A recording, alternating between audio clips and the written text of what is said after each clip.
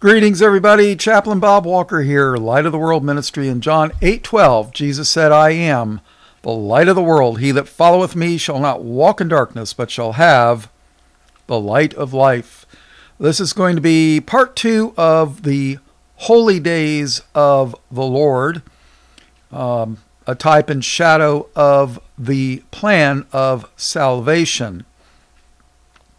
Now, I I know that I covered. Uh, I basically did an introduction with part one. And if you're interested, I'm going to make a playlist for this. And I've done a two part, oh, more than that. I actually did about four videos on Passover and unleavened bread. And you can read about this in Leviticus 23, if memory serves me correctly. So I'm just going to barely touch on um, Jesus as the Passover lamb. And then I'll put the other studies in the playlist if you're interested. Now, another thing, too, is the plagues of Egypt are very similar in some ways, but there's differences too to the plagues of Revelation. And I have a playlist on that too.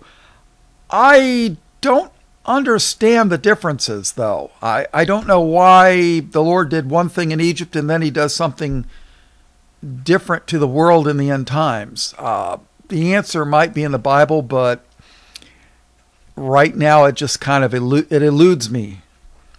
And um, there's just some things in the Bible we're not going to know until, well, I got a bunch of questions. That, that's all I can tell you. So let's get going here. Uh, Leviticus 23, I believe. Part 2.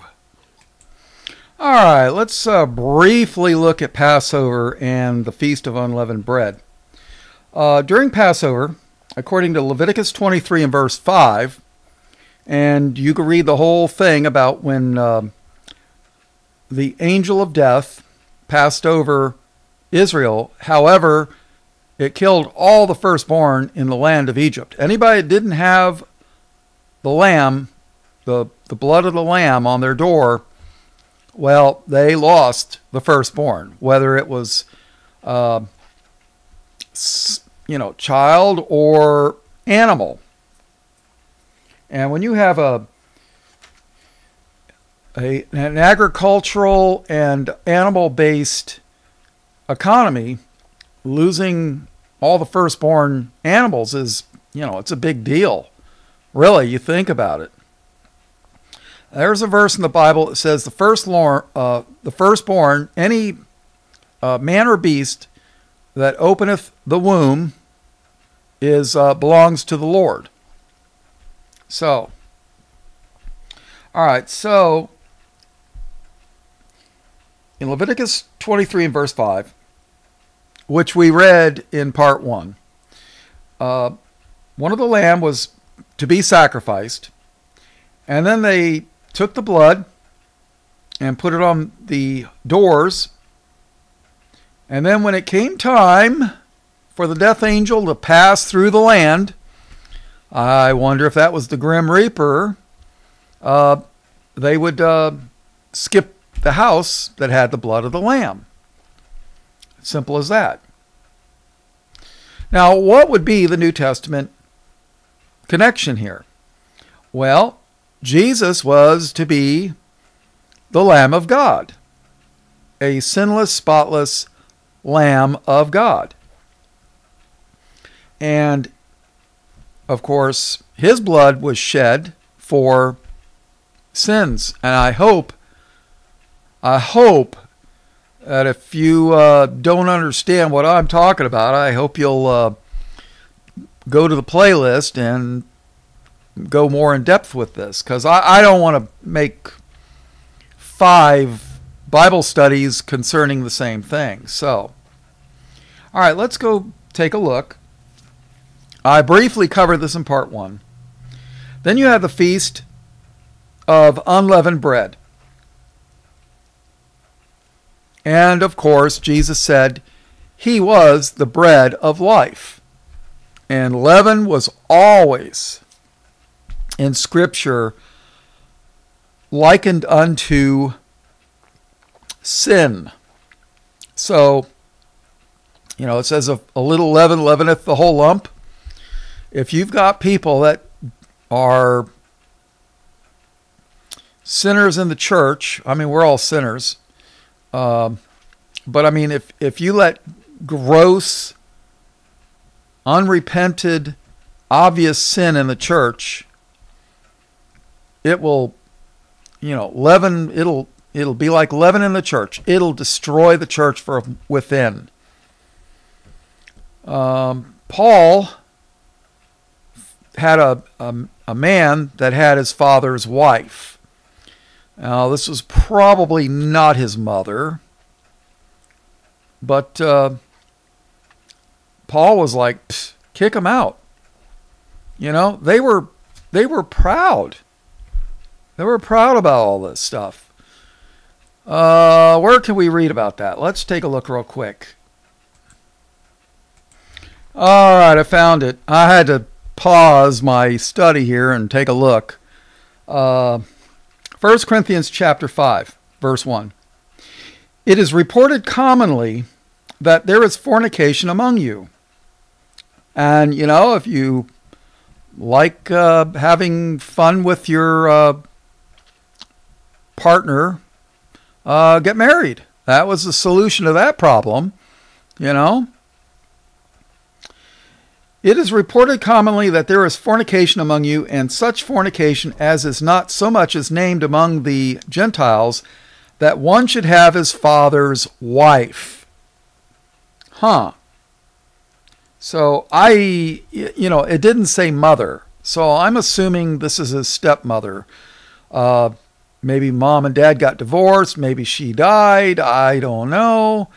But uh, maybe she decided that, uh, you know, maybe she was a pretty young thing, half the age of daddy, and then decided that uh, she liked the son better.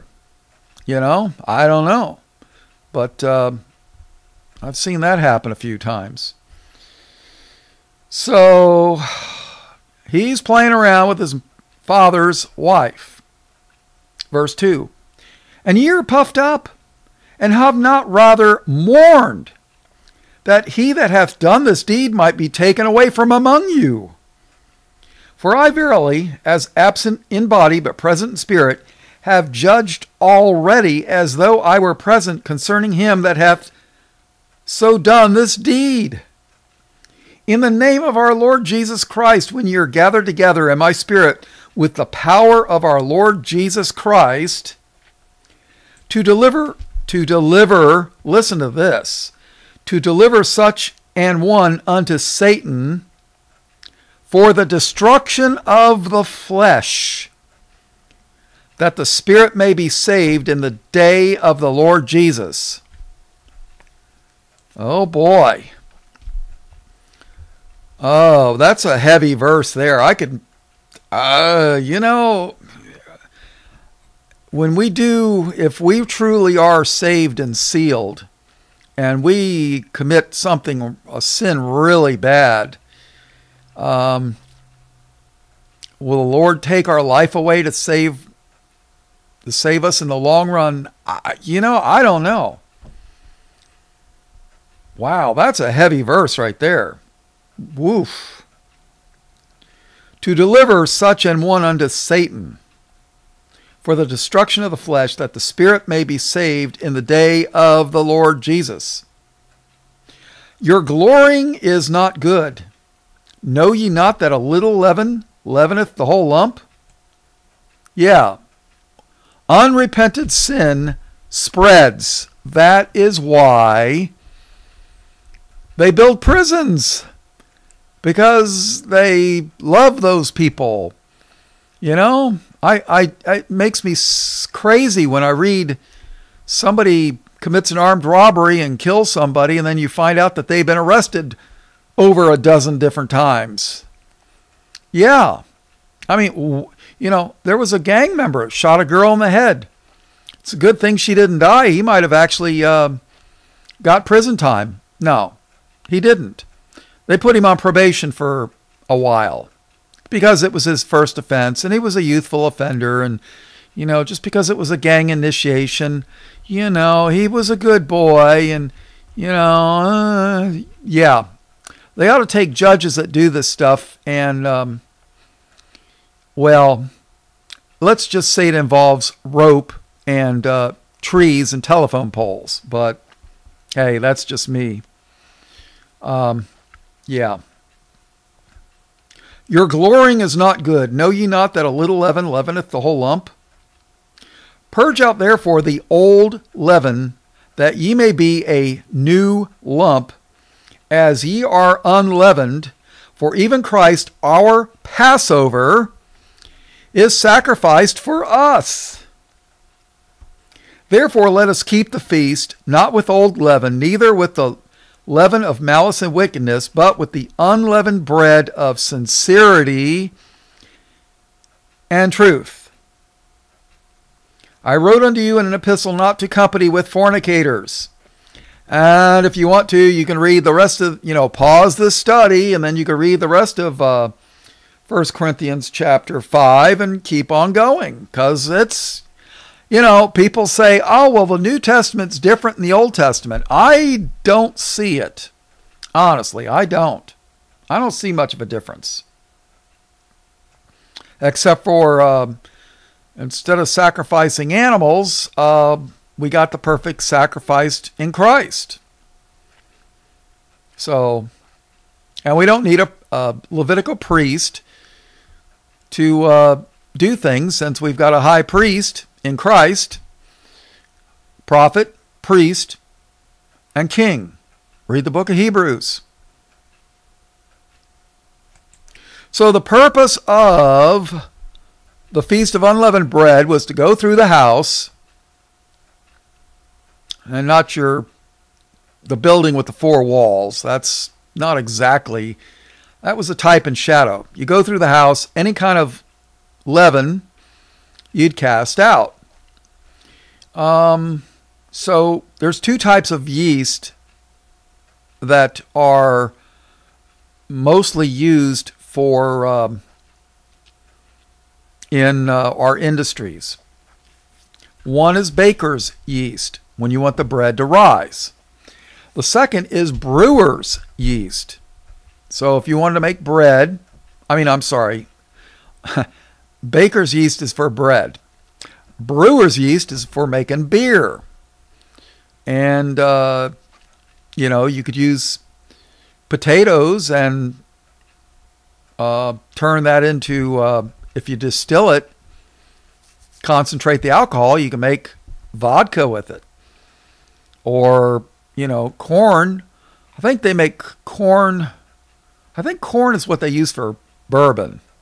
Here it is. I'm born from Kentucky, and uh, you know, my grandfather was a master distiller at a distillery, and I guess he, from what I heard, he was a bootlegger during the uh, Prohibition because it was the only thing he knew what to do.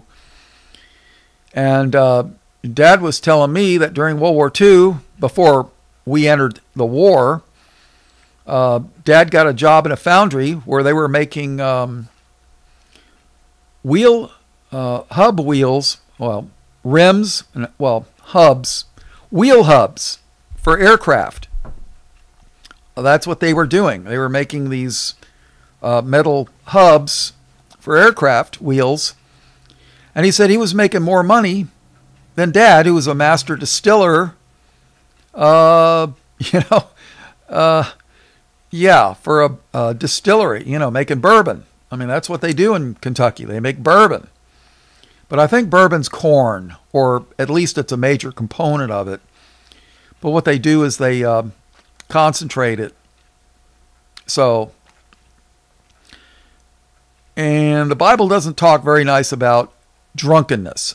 So anything to do with yeast uh, in the Bible is generally not a good thing when you think about it. So, so the purpose of unleavened bread was to go through the house, get all the yeast, and throw it out. Is there a New Testament application of this? Yes. Instead of going through the house and throwing away your Fleischmann's yeast, uh, look in the mirror. Is there sin in our lives that we need to get rid of? You know, when you become, when you come to the Lord Jesus with his blood, this Passover, the sacrifice of the lamb, well, then what comes next? Purging out the sin out of our lives. That's, uh, you know, think about it. That's what these these uh, holidays of the Lord, the holy days, were all about. You know? Now, I'm going to post uh, the um, the playlist on the uh, comments and in the description so that you can take a look at the uh, playlist where I'm going to go. I've got my previous studies. If you're interested in doing Passover and unleavened, unleavened bread, a more in depth study, I'm just glancing over this stuff right now. All right, so Passover was first. And then after that, you had the Feast of Unleavened Bread. 50 days later, what came? Pentecost. Ah, now here, this is where it starts getting interesting. Now, unleavened bread was mentioned in Leviticus 23, uh, verses 6 through 14. Now, Pentecost was mentioned in Leviticus 23, verses uh, 15 through 22. It was a time, a day of celebrating the first fruits harvest. Uh, I mentioned in the last study about uh, the barley harvest. There are there's an early harvest and then there's a late harvest. You've got a uh, let's see, Passover was probably right around late March or early to mid April. And then 50 days later uh, was Pentecost. And like I mentioned before, this God's calendar started in the spring. It was an agricultural calendar. You know, it's not like our calendar that starts in the middle of the winter. You know, no, it's so it was basically that's the uh, spring is when you would start planting after, preferably after the last frost, right? Now barley uh, ripens uh, if you plant it in the fall and let it overwinter, as they call it. Takes about 60 days to harvest. So obviously you would plant it slightly, you know, before Passover. So, and like I mentioned, their uh, radishes, three weeks. Can you believe that? 21 days, you can have a crop of radishes. So you've got um, scallions, spinach, lettuce, summer squash. All these things you could harvest well, I don't think they had squash in the Middle East, but uh, yeah. So let's see. You've got a bunch of different things. So there was a an early harvest. So take a look. So they called it the uh, harvest of first fruits. Okay. Uh, let's see. Now, is there a New Testament application for this? Well, uh, absolutely. So let's take a look. All right, let's take a look at Acts, the book of Acts, chapter 2. verse 1. Now remember, um, Pentecost in the Old Testament was the early harvest. Keep that in mind when you read this. Acts 2 1. And when the day of Pentecost was fully come, now remember, this was 50 days after Passover. That's where the word penta comes from. Five. Um, and when the day of Pentecost was fully come, they were all with one accord in one place. Ah, they were all with one accord in one place. Didn't know they had Hondas back then, did you? Huh. Yeah, I know. Don't don't quit your day job, Bob. Oh, wait, I'm retired. Never mind. Verse 2. And suddenly there came a sound from heaven as of a rushing mighty wind. Ah. Now what's that all about, Chaplain Bob? What's what's a rushing mighty wind? Well, when you look up the word wind in the Old Testament Greek, okay? New Testament was written in Greek, not Hebrew. I don't care what any of those people say. The uh, when you look up the word wind, it's the word pneuma, P N E U M A, I believe is how they spell it. Uh, you ever go to a tire a tire place? You know, uh, they have pneumatic tools, air tools. You know, sometimes it's better to have tools that will operate off air than electric. It's a safety concern. You know, if you had your hoses, your air hoses in water, much better to use air than it is to use electric. So they use pneumatic tools, air tools, wind.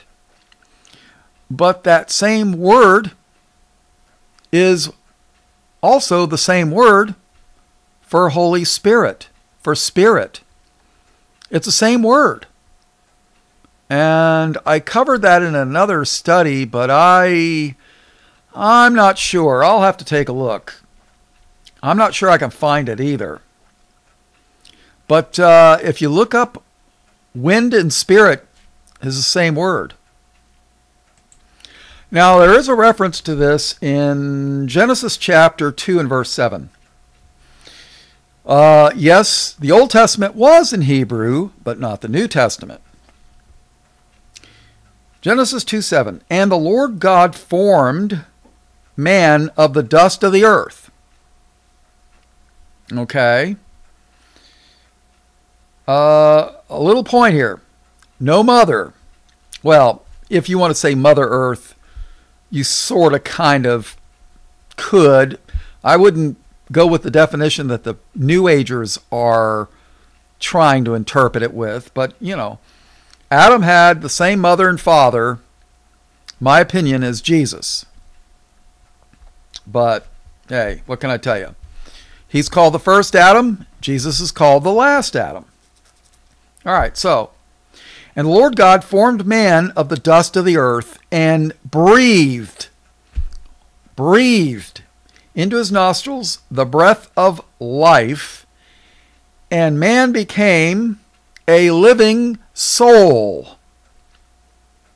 All right, so you had a body when God formed man of the dust of the earth. God breathed into his nostrils the breath of life. That's the spirit. And then man became a living soul body, soul, and spirit. Ah, there you go. And then um, just think God made man in his image. God made man in his image. Man has a body, man has a soul, man has a spirit. And then you get these Jehovah's false witnesses that'll tell you God's not a trinity. Oh, I, I don't like the word trinity because it's not in the Bible, but you know what? The word Godhead is. And Jesus is part of the Godhead. God the Father is probably the soul. The Holy Spirit is, or the Holy Ghost is a spirit. And then Jesus was in a body when he lived on this earth. So you had body, soul, and spirit, three parts. And then they'll say, well, there's only one God. There's only one God. Well, that's true, but when you look at me, I got a body, a soul, and a spirit. I'm three parts. Do I have a, am I a three headed beast? Like, uh, what was that, Cerberus or whatever, the three headed dog? You know, that's what the Jehovah's Witnesses will, false witnesses will try to trick you up. Uh, they don't even know. They don't even know God the Father. They don't know who Jesus is. They think Jesus is an angel named Michael. I mean, really, as if an angel could die for our sins. You know, you know why they got rid of the King James Bible? 1 Timothy 3:16 says God was manifest in the flesh. That is one of the big reasons why they got rid of the King James Bible that they used for well over 50 years. Yeah. And then they had to create their own ver- perversion, the New World Order translation. Oh, yeah. So, the word spirit and wind are the same word in the Greek, and it has the same type of reference as in the Old Testament, believe it or not. All right, let's take a look at John chapter 3, and I'm positive this is going to be at least three part series because uh, I'm just barely getting into. Um, all right, when you look at the Old Testament holy days and then contrast that to the New Testament holy days, God's plan of salvation, Christ was crucified, Passover is done, unleavened bread, done. Pentecost happened um, almost uh, close to almost 2,000 years ago. Over, I should say, over 1,900 years ago, it happened. Okay? So you had the, the spring and the summer uh, holy days have been fulfilled. But guess what? The fall holy days have yet to occur as far as the New Testament's concerned. We're going to get into that. All right, go to John chapter 3, verse 1. And we're going to go back to Acts chapter 2. I know I skip around a lot. I'm sorry. You know, it's just there's so many doctrines that uh, uh, tie into each other. It's sometimes I don't know what direction to go in. But I got to prove to you about the uh, the spirit and the wind. John chapter 3 verse 1. There was a man of the Pharisees named Nicodemus. Oh yeah, you've read this before. I know you have. A ruler of the Jews. The same came to Jesus by night. Why? Because he knew that the rest of the Jews didn't like Jesus. And said unto him, Rabbi, we know that thou art a teacher come from God. For no man can do these miracles that thou doest except God be with him. Oh, yeah. Yeah, you know what? When you got somebody out in the wilderness doing all kinds of miracles, teaching people, and he's got thousands of people hanging around listening to him, you better believe that King Herod and Pontius Pilate had sent spies to uh, check this dude out. Yeah. Uh, you know, when you got somebody that's drawing a, a crowd, you want to know what they're saying and what they're doing.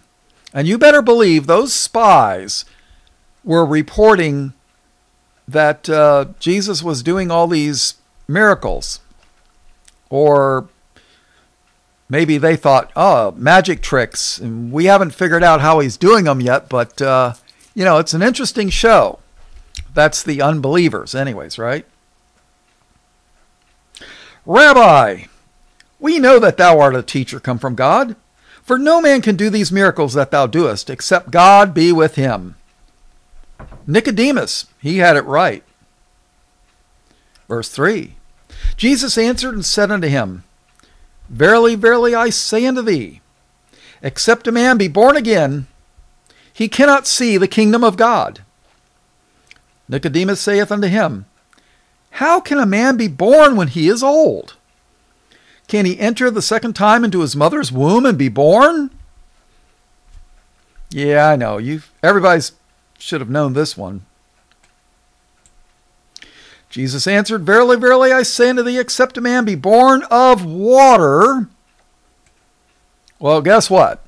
You ever heard the expression when a woman's getting ready to give birth to a child, the water broke? That's when you know it's coming out. Born of water. Now, that's fleshly being born, okay? What about being born of water Again, what did John the Baptist do?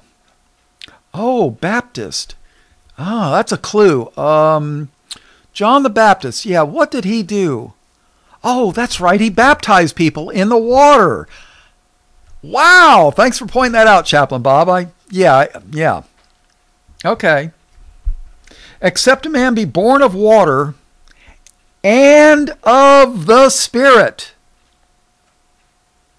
he cannot enter into the kingdom of God. Is there another application of this?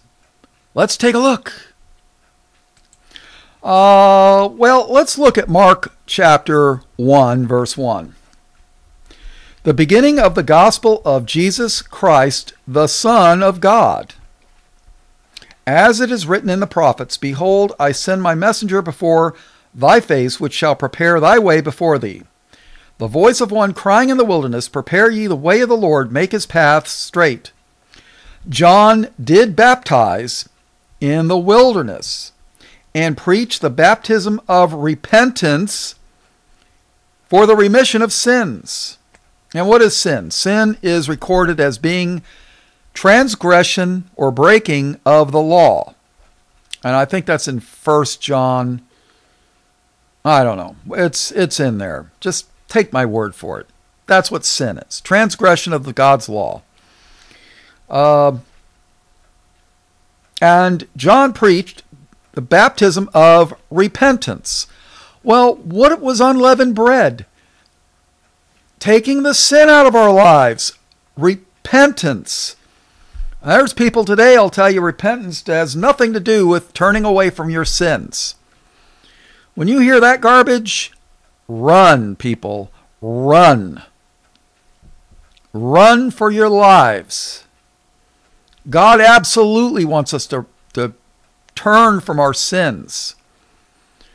They'll tell you, oh, just believe on Jesus and you're saved. Keep that job with the, as a hitman for the mafia. Don't worry about it. You believe in Jesus, you're saved and you're sealed until the day of redemption. I've heard them basically teach that garbage. John did baptize in the wilderness and preach the baptism of repentance for the remission of sins. Unleavened bread, right? Verse 5 And there went out unto him all the land of Judea and they of Jerusalem, and were all baptized of him in the river of Jordan, confessing their sins. That's what confession is, not going to a, a uh, Catholic priests and telling them how many times you slept with your neighbor's wife last week. That's, you know, more bragging than you are, you know. When you confess your sins, you should be turning away from them. And uh, trust me, I'm no pillar of the faith. Believe that. Verse 6. Mark 1, verse 6. And John was clothed with camel's hair and a girdle of a skin about his loins, and did, he did eat locusts and wild honey. I'll guarantee you, if John the Baptist showed up at uh, 99 point something percent of the Baptist churches, he'd be told to leave. because they wouldn't like his doctrine and they wouldn't like the way he's dressed. How dare you come into the Lord's house dressed like that? You're some kind of homeless bum. Get out of here. Yeah. Trust me. And John was clothed with camel's hair and a girdle of a skin about his loins, and he did eat locusts and wild honey, and preached, saying, There cometh one mightier than I after me, the latchet of whose shoes I am not worthy to stoop down and unloose. I indeed have baptized you with water. See, there's two baptisms. You're baptized at birth, when the woman's water breaks. And then you should be baptized again with water when you come to the Lord. And no, I'm not a mem- uh, pushing the, uh, I think it's a Church of Christ. Uh, his name was Campbell, the preacher or whatever that started the Church of Christ. He, uh, memory serves me correctly, they teach that you have to be water baptized to be saved. Um, I wonder if the thief on the cross got baptized in water. Uh, I don't think so. Well, if he did, it's not in the Bible. But Christ told him, well, the one thief, that he'd be with him in paradise that day. Oh, sorry, thief on the cross. Uh, you got to get water baptized. Otherwise, sorry, you can't join me. You know, Pastor Campbell, that's what he, you know, teaches. I mean, I'm not telling people not to get baptized. I think it's a wonderful thing. I think they should. Uh, but it's just a public profession of your faith. That's all it is. You know, washing away the filth of the flesh to hopefully be indwelt by the Holy Spirit, right? I have indeed baptized you with water, but he, Christ, but he shall baptize you with the Holy Ghost. Ah. Now, Holy Ghost and Holy Spirit, same thing. Okay? Now, what is a ghost? It's a spirit, right? There's a Holy Ghost, and then there's the unholy ghost, or ghosts. Verse 9.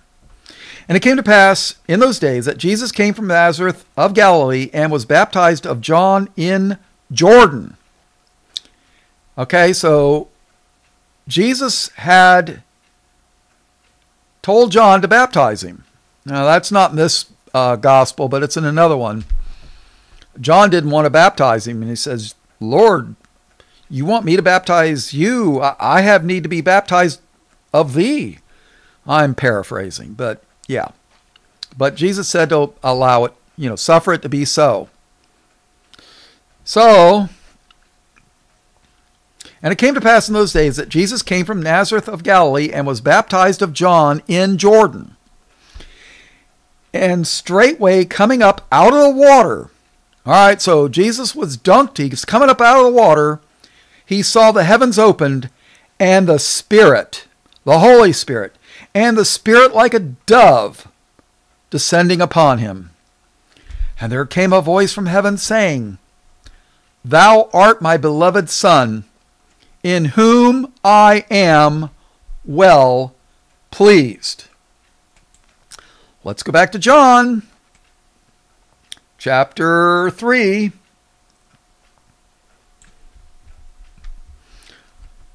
Verse 4 Nicodemus saith unto him, How can a man be born when he is old? Can he enter the second time into his mother's womb and be born?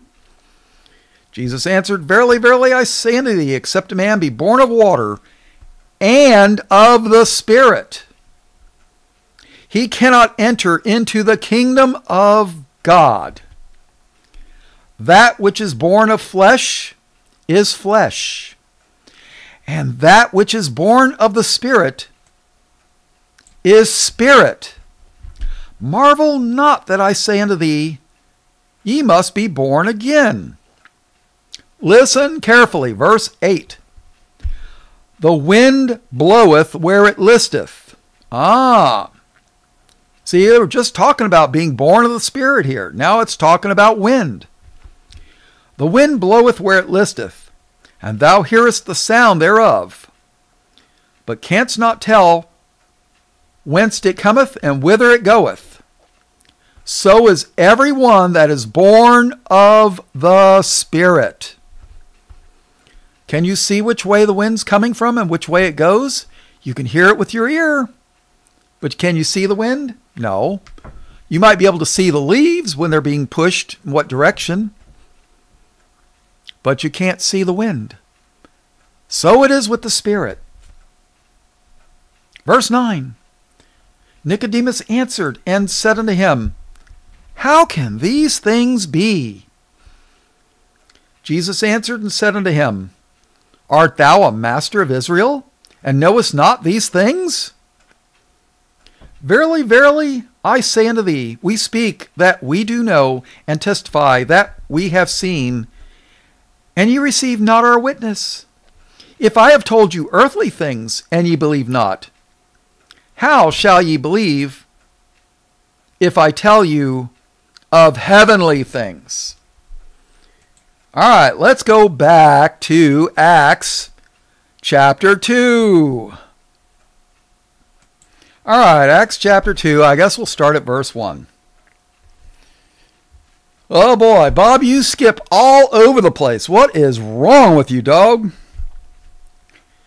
And when the day of Pentecost was fully come, they were all with one accord in one place.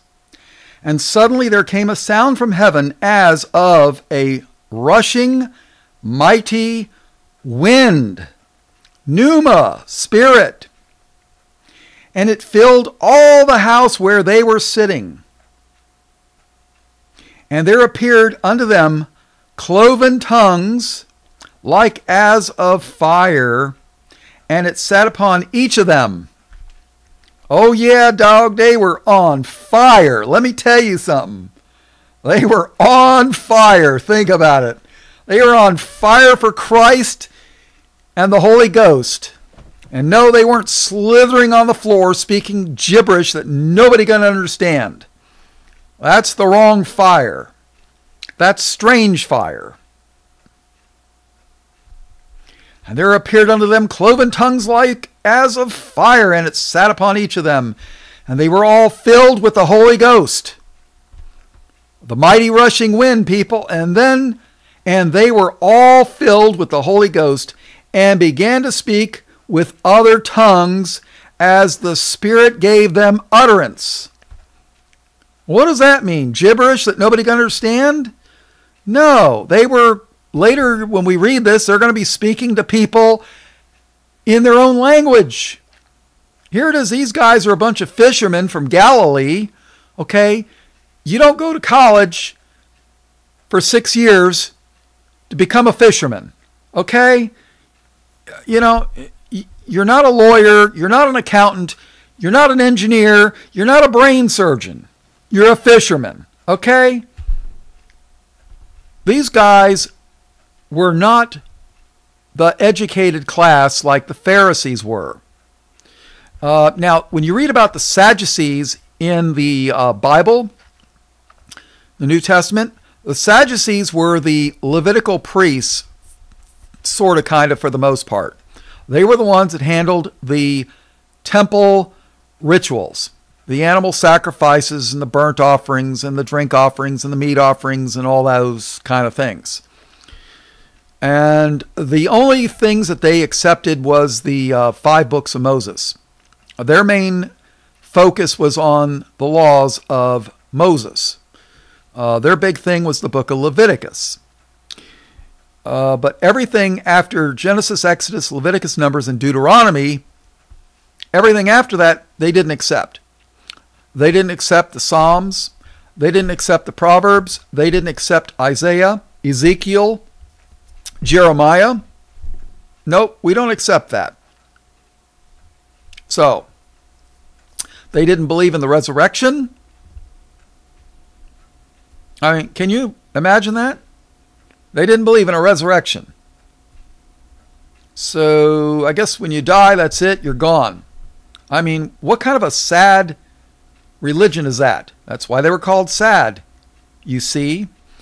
But the uh, Pharisees, um, they believed in spirits, they believed in the resurrection, and they believed in the entire Old Testament. But they also had their other Babylonian oral traditions that Christ blasted them over constantly and constantly and constantly and condemned them for. Oh, yeah. Christ did not like their little oral traditions. So, Acts 2, verse 4. And they were all filled with the Holy Ghost and began to speak with other tongues as the Spirit gave them utterance. And there were dwelling at Jerusalem Jews, devout men, out of every nation under heaven. Now, when this was noised abroad, the multitude came together and were confounded because that they heard every man, uh, because that every man heard them speak in his own language. Language. Not gibberish. Not that's not tongues. You might make that noise with your tongues, but that's not tongues. All right? Everybody heard them speak in his own language.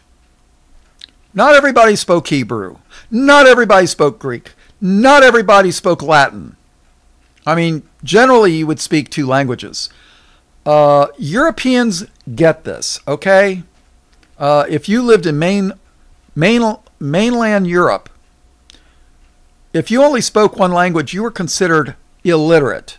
Seriously most everybody in Europe speaks at least two languages, which you have to. You know? Uh, I don't know if that holds true for the uh, England, the UK. Um, I know during World War II, a lot of their soldiers spoke a second language, a lot of them French. Um, but, uh, you know, Americans, uh, we're lucky if we know one language and uh, a lot of our uh, a lot of our people uh, barely know one language, and a lot of people in America don't even know English. So what can I tell you? But here it is: these people were speaking to this group of people in their own language, preaching the gospel to them. They were not shouting or slithering on the floor with gibberish. I'm sorry. Wrong, wrong, wrong. And these were Galileans. These people were not educated scholars, they're fishermen. Okay? Big difference. Because that every man heard them speak in his own language. And they were all amazed and marveled, saying one to another, Behold, are not all these which speak Galileans? And how hear we every man in our own tongue, wherein we were born?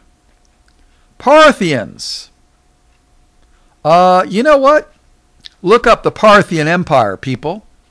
Totally erased from our history books. Parthian Empire was uh, a contemporary of Rome, equal, very, very close uh, equal, very close in size and power. Matter of fact, Rome tried to conquer Parthenon and couldn't do it. They were both pretty close to each other in strength. That's why uh, Rome didn't brag about conquering Parthenon because uh, Parthia, because they couldn't do it. You know, you don't brag about your failures, okay? And um, matter of fact, I'm of the opinion that the wise men that came from the east were from uh, were Parthians, and there are. Why would history ha- erase this information and knowledge from our collective consciousness? Well, because there's a good chance that they were scattered Israel. Very good chance. Uh, I forget who it was some communist, a Marxist, said that if you sever a people from their roots, that they will die. I mean, let's face it. If you sever a plant from its roots, what happens to the plant? It withers and dies. And that's what they've done to our people. They have they have separated us from our roots. Parthia, P A R T H I A. Look it up. I mean, there's an entire empire that existed during the time of Rome that probably were Israelites, and you've never heard of it before. I mean, here it is. I'm a student of world history, and I've read several books on world history. And I only recently discovered Parthia. So, verse 9 Parthians and Medes. Uh, the Medes were part of the uh, Babylonian Empire, and Elamites, and the dwellers in Mesopotamia. Mesopotamia was uh, Babylon, the area, and in Judea, and Cappadocia, and Pontus, and Asia uh, Phrygia and Pamphylia. I'm probably not pronouncing those right. In Egypt and in parts of Libya about Cyrene, and strangers of Rome, Jews, and proselytes, Cretes and Arabians, we do hear them speak in our tongues the wonderful works of God. That's what tongues is when you can speak a language and tell people the gospel of the Lord in their own language, something that you've never studied, all I can do is say, Praise the Lord on that.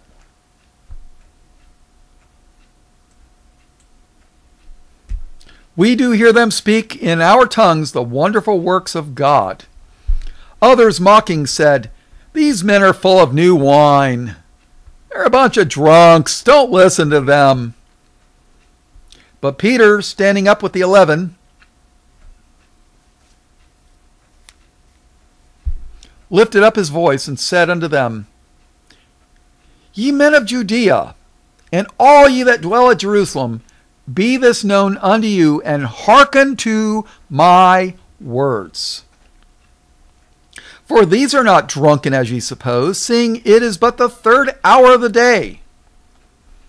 Yeah, you bunch of idiots, it's it's too early in the morning to be getting drunk. Or whatever the third hour of the day is, I don't know. Verse 16. But this is that which was spoken by the prophet Joel. And the book of Joel has some interesting stuff that's quoted right here in, in Acts. It's coming up, verse 17. And it shall come to pass in the last days, saith God, I will pour out of my Spirit upon all flesh. And your sons and your daughters shall prophesy. And your young men shall see visions, and your old men shall dream dreams. Oh, okay. That's why I've been having dreams. Oh, okay. That makes sense. And on my servants and on my handmaidens I will pour out in those days of my spirit, and they shall prophesy. They shall prophesy. And I will show wonders in heaven above and signs in the earth beneath blood and fire and vapor of smoke. Where is this? Matthew 24, Mark 13, the book of Revelation. Uh, you know, how many people have read the book of Joel? Or the book of what? Who? Joel? Uh, where's that, Chaplain Bob? Uh, it's in the Old Testament, just before you read the Gospels, the book of Matthew. Yeah. You know? And I'm not complaining about those the the regular people that listen to me talk to myself. No. But I'm just saying, you know, how many church people? You know what? When people tell me they're Christians, I love to ask them, um, can you name me 10 books of the Bible? You know, that's an easy one. Matthew, Mark, Luke, John, Acts, Genesis, Exodus, Leviticus, Numbers, Deuteronomy. Okay. Most people can't do that. You know? I mean, well, churchgoers. I don't even, they haven't even bothered to read. There's a lot of prophecy in the Old Testament. The book of Joel, man, there's some there's some heavy duty stuff in the book of Joel. It's a small book. It's only a couple pages long. Uh, I, I don't remember how big it is, but it's it's not that big. All right.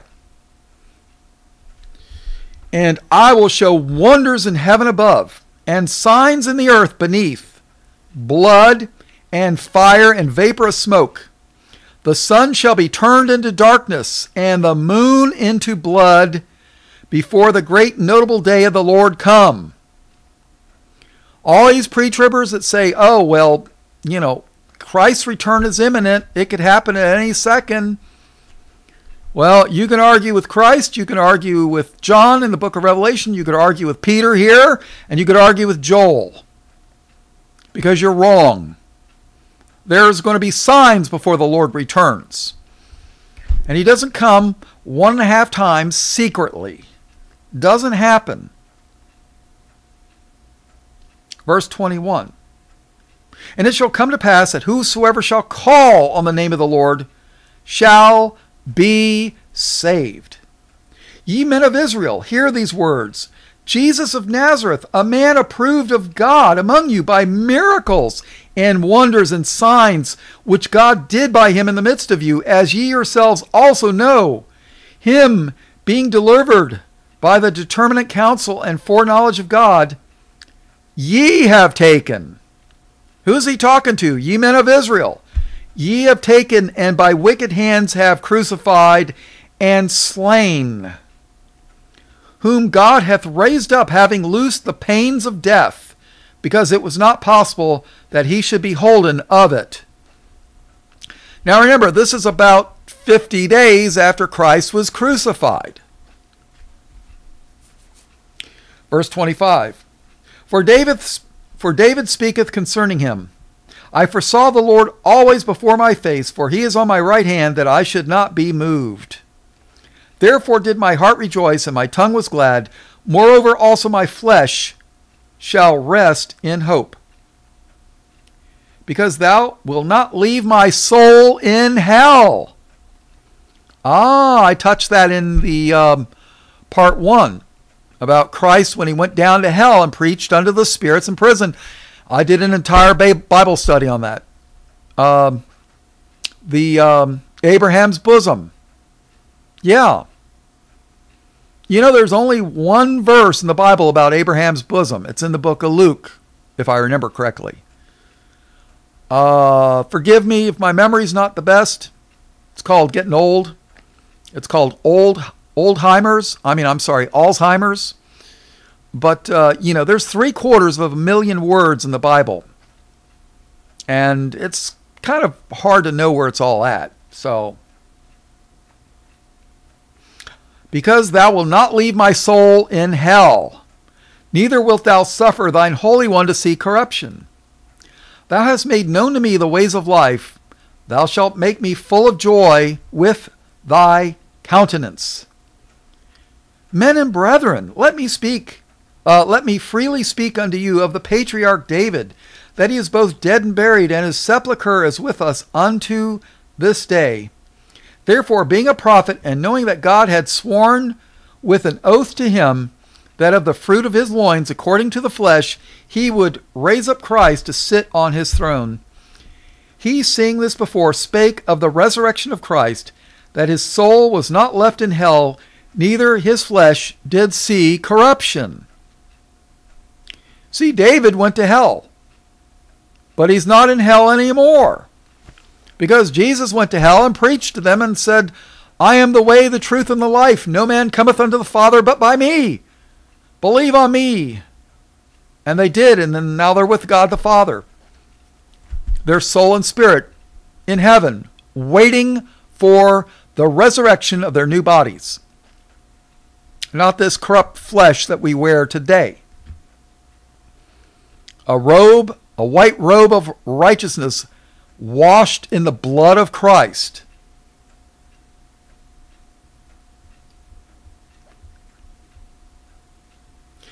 He, seeing this before, spake of the resurrection of Christ, that his soul was not left in hell, neither his flesh did see corruption. This Jesus who hath God raised up, whereof we are all witnesses. Therefore, being by the right hand of, uh, of God exalted, and having received of the Father the promise of the Holy Ghost, the promise of the Holy Ghost, he hath shed forth this, which ye now see and hear.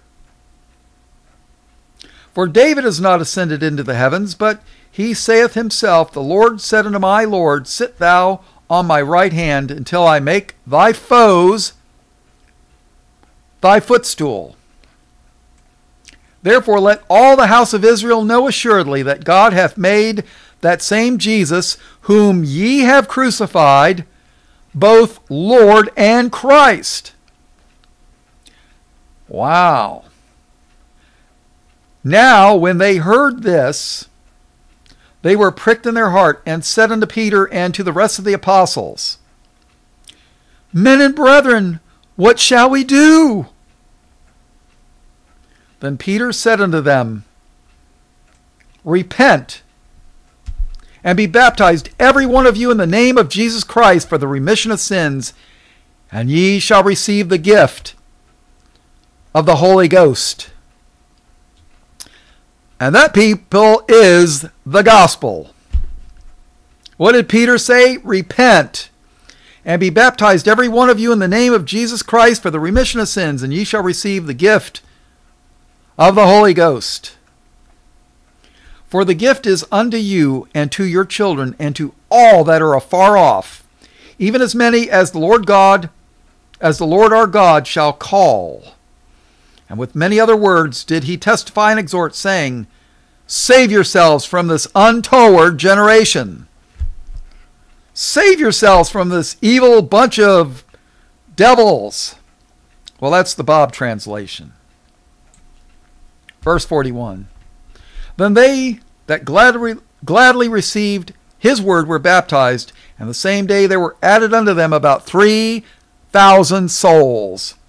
And they continued steadfastly in the apostles' doctrine and fellowship, and in breaking of bread, and in prayers.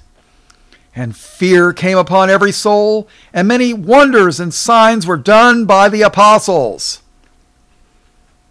Now listen to this. And sold their possessions and goods, and parted them to every man as every man had need. Now, this is true this is true communism. People sold their stuff and helped the brethren. Uh, don't show this to Benny Hinn or Kenneth Copeland because it's, that's not going to happen. So, in the uh, in the world, the only thing that's even close to communism, true communism, not Marxism, Marxism is a lie that they call communism, but it's, you know. But uh, I suppose bees and, and ants are about the closest thing you come to this kind of stuff. So people sold their things and helped everybody. And sold their possessions and good and parted them to, every, to all men as every man had need. And they, continuing daily with one accord in the temple and breaking bread from house to house, did eat their meat with gladness and singleness of heart, praising God. Praising God and having favor with all the people. And the Lord added to the church daily such as should be saved. Uh, people, this was the last uh, holy day that um, the uh, spring and summer first fruits holy day that was fulfilled in the Bible. All the rest of the feasts are going to be future. I have a feeling this is going to be more than three parts, probably four. So I'm going to close this out right here and uh, now you know what the um, Pentecost was. Of course, the you know who's have different names for all this stuff. And I'm not so sure it's even Hebrew. It's probably Yiddish, which uh, Yiddish is not Hebrew people. You take somebody that, that can read and write Yiddish and speak Yiddish and hand them an Old Testament written in Hebrew, they can't read it. I mean, the word, the letters might look alike, but uh, English and German, the letters look alike, but that doesn't mean I could read German. Oh, I know a few words. Um, 45 years ago, uh, I knew more than a few words, but uh, that was in the 70s.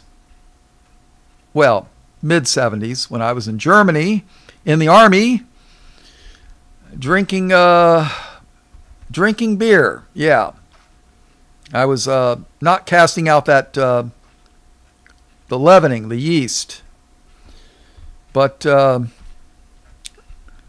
the Lord uh, got that leaven pretty much out of my life. So I hope you learned something.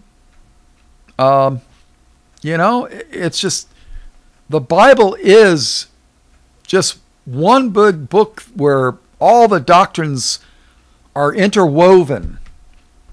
And I hope you see that. I mean, I, I see it. There's a lot of stuff I don't know, but there's some things that I do know, and, you know, I try to share with everybody. And we'll try to do so until uh, you know who takes me off the air. And when he does, well, then I'll know it's my chance, uh, my cue not chance, but my cue from the Lord to plan B, whatever that might be. So, all right, everybody. Chaplain Bob Walker, Light of the World Ministries. Uh, and one thing, real quick uh, click the description or the comment that's pinned, and you'll see my playlists. And I've got more in depth studies if you're interested in Passover and unleavened bread or some other subjects um, and like I say, anybody's interested, um, send me an SD card or a USB drive because when I go offline, that's going to be pretty much it. I am on archive.org, A R C H I V E.org. Uh, it's part of the Wayback Machine. If you wanted to look at an old website that was on the internet years ago and no longer exists, you can go to the Wayback Machine, and there's a good chance that they've copied that website. Or you could look at an old version of a website. Um, really good stuff. But if you look, if you go to archive.org and type in Chaplain Bob Walker, uh, you should be able to pull up my. Uh, I've got a small channel that I'm working on. I'm not going to put up, I am not going to put up my thousand studies. No, no. I'm probably going to put up, right now I've got close to around 50 studies. But uh, I'll probably put up about 100, and that'll be it. Uh, Lord willing, of course. So, all right. Uh, all blessings, praise, glory, and honor to God the Father and his only begotten Son, Jesus, who is the Christ, the Lamb of God, slain from the foundation of the world. All blessings, praise, glory, and honor in Jesus' precious name. Amen.